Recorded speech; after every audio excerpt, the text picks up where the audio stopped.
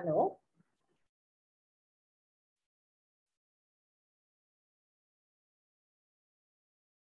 Welcome back to the e-Shikshana program. This is Professor Uma Rao from RV College of Engineering, Bangalore, bringing you the lecture series under the aegis of VTU e-learning center. So in my last session, I uh, discussed what is reliability, the cost of reliability to the utility, the customer to the system, and uh, the meaning of failure rate, survival rate, mean time between failures, and some standard distributions such as Poisson's, binomial, Gaussian, etc. Uh, in this session, we will just look at some reliability indices?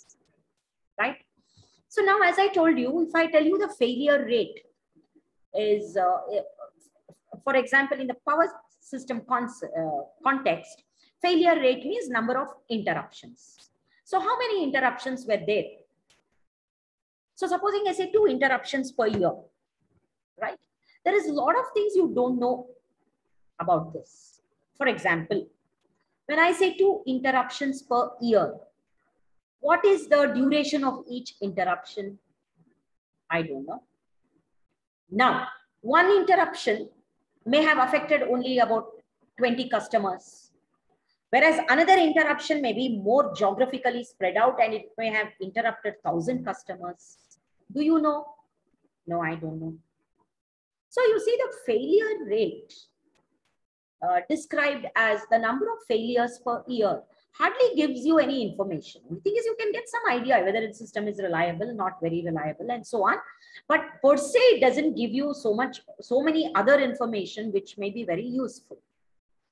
So there are uh, other indices which are defined so that we get some better idea about some more details. Clear? So in this session, let's see what uh, these are. So first is what is called a SAIDI, System Average Interruption Duration Index. System Average Interruption Duration Index. SAIDI. What is it? It measures the average value of the interruption a customer faces in minutes per customer. So you see, now I know when I have, have so many interruptions, each interruption may be of a different duration. So this index will tell you what is your total duration of interruption for every customer. Clear? So how, how do I calculate it? Let us just see. It is Ri is the restoration time in minutes or the interruption time, right? That much of time it takes to restore the system. So Ri is the restoration time. Ni is the number of customers affected and Nt is the total number of customers. Because today some other customer may be affected, tomorrow I might be affected. Today this feeder, you know, feeding uh, an area X got affected and tomorrow another feeder, feeder uh, you know, supplying area Y may get affected. Okay. So Ri is the restoration time for every interruption. So I have a sigma here for each interruption. For a particular interruption, what is the restoration time? How many customers have been interrupted? The sum of all that as a percentage of the total, not percentage, as, as, as a ratio of the total number of customers. That is called a SAIDI system average interruption duration time. So let's see how you can calculate it. Very simple. Very good for distribution companies. And these indices are very um, effective for power industry.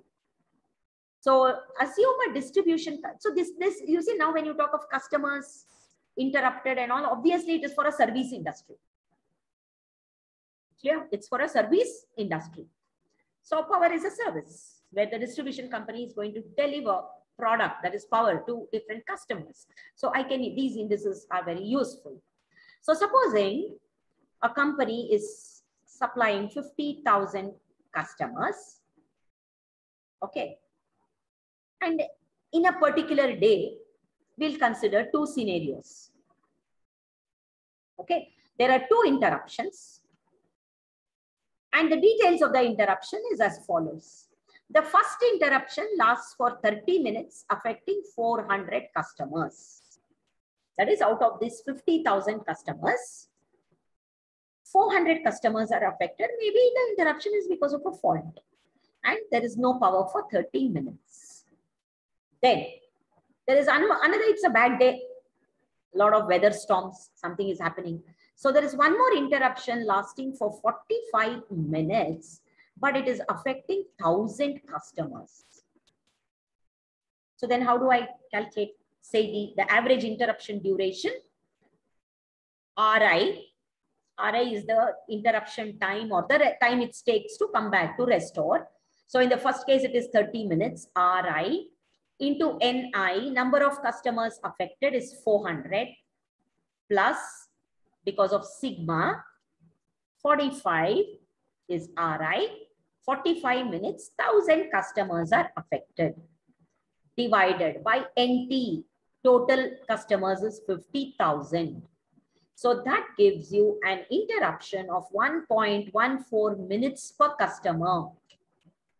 Now there is no way with this data you can tell whether one particular customer was affected or not. No. See this is a very skewed thing, but some idea average, averaging always, you know, is very skewed. Average of zero and 100 is 50. So if one student gets zero marks and another gets 100 marks, we say the average is 50. It doesn't make sense. Both of them are far away, right? So actually you see here customers are getting affected for 30 minutes, another group for 45 minutes, but my average per customer is 1.14 minutes per customer. Obviously, when your sample size is large, when the distribution company is supplying a large amount of uh, customers, then this value will be low because you're dividing by the number of customers. So what does this mean? This means that on an average any day, every customer loses power for 1.14 minutes. Yeah, they may or they may not lose. Some customers will lose more, some may have zero, but still, it's one way of getting an idea about the reliability of the system. Next.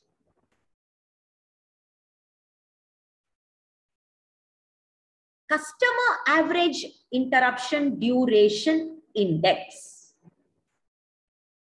So now in the previous case, what I did, I divided by the total number of customers. But you saw out of that only 1,400 were affected, right? But the total was 50,000. So majority of the customers were not affected. So it does not give me a very good uh, uh, idea. So instead what we do here, my numerator is the same, sigma Ri into Ni. Denominator is sigma Ni. That means the total number of customers affected. There is a total number of customers on the system. Here's the total number of customers affected. So if I take the previous case, it is 30 minutes, 400 customers, 45 minutes, 1000 customers. So the total number of customers is 400 plus 1000, which is 1400 for each. So 142.5 minutes. 142.5 minutes is the that means all the customers who went out of service had an interruption for 142 minutes on an average. It's an averaging. Again, it's an average. Because 1000 had only for 45 minutes. Right? And another 400 had only for 30 minutes. So I am spreading this total time across all the customers. Okay.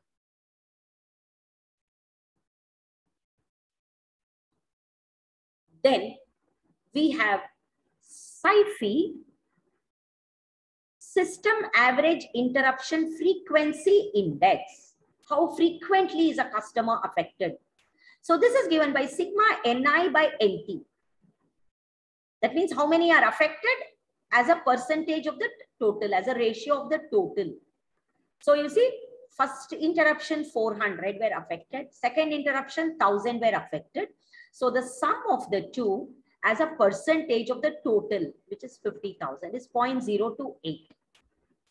This means that on one day, the customers had a probability of 0.028 of loss of service. 2.8% probability is there that a customer will have an interruption. That's the meaning of this. Next, this is system. Then I take customer. Okay, so the customer is, if I take for a customer average interruption frequency index, it is the number of interruptions, N naught is the number of interruptions. So for the above, there were two interruptions affecting 1,400 customers totally. So it is 0.00142. That means on an average, around 0.1%, because 50,000 I have, no? 50,000. Out of that, only 1,400 were affected. So, and that there were only two interruptions. So around 0.1% of the customers were affected. So these four indices are very commonly used in reliability for distribution systems. Now let's see what are some constraints and uh, limits under which uh, distribution systems operate. The first, of course, always as anything else, there is an economic limit. So the efficiency of the distribution system depends on the losses. So you will have to incur some loss to design a system of high efficiency. That means you know all the transformers, the maximum efficiency, there's a loading condition for maximum efficiency. And for the lines, there is a maximum efficiency point and all that. So you must operate at a loading level where the cost gained in reduction of losses is equal to the cost incurred in improving the efficiency, right? For example, if you're going to put up power factor improvement capacitor here. So when you increase the power factor, you know that there will be lesser current drawn for the same load and lesser current means lesser losses. Therefore, efficiency will improve, but the capacitor will cost money. Supposing the reduction in losses is, um, you know, insignificant compared to the cost, then don't, don't put the capacitor unless you have some other operational problem. So we have to properly see when we decide what, what all should go into the system. Next, we of course have the thermal limit. So the limit of loading is determined by the thermal limits of the current carrying conductors, whether it is overhead or cables. And uh, this will depend also on the weather conditions because you know that the heating and the life, everything will depend on the weather condition, the resistance of the conductors, all that will depend on the weather conditions, corona effect, we've seen all that. Next, the voltage drop. So in all our problems, we have seen that as we move away from the source end, the voltage keeps dropping. So the voltage at the customer premise must be of an acceptable value. That means if my customer is so far away from the distribution substation that the voltage at the customer premise is very less, then it doesn't make sense. Okay. So there is a limit on this also. You remember we have solved problems in um, module two or three, I think, where we say what is the maximum length of the distribution line? What is the maximum length of the transmission line? If the drop should be within 5%, if the losses should be within 10% and so on. We have done such problems. So you, depending on your application, you set what is the maximum voltage limit, which is permissible. Okay. And uh, if you have unbalance, then you can have further problem because of undue heating. So the negative sequence components will cause excessive heating. So this voltage drop is another consideration. Then fault current capability. Till your breakers or fuses operate, the lines will have to carry the fault current. So the switch gear must be able to make and break under high fault conditions. Therefore, this is also a very important parameter. And when you have a number of protective relays, coordinating between the time of operation of the relays also depends on the fault levels. Here. Then though auto reclosing circuit breakers, what is auto reclosing circuit breaker? A breaker opens on faults and by itself after some predetermined time, it closes again. Then if the fault is persisting, it will open again. So there are some standards for this. What is the duration after which it has to close? How many times can reclosure take place and all that. Obviously, if it recloses on a fault, then it will cause some stress. So this also we have to take into account when we uh, talk of reliability.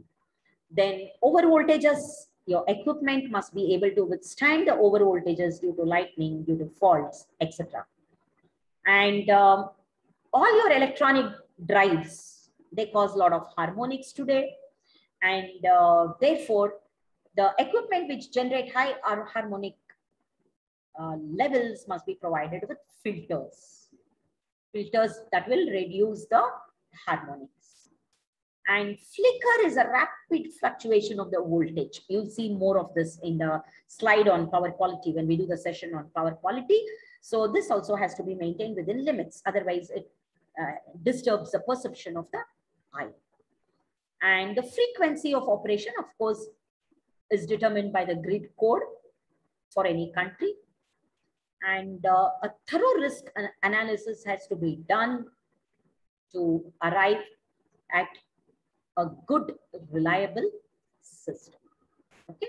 So we just had a broad overview of reliability. Reliability of power systems itself is a course in uh, itself. So we'll not go into those details. So the idea here is just to give you a broad idea of what, is reliability.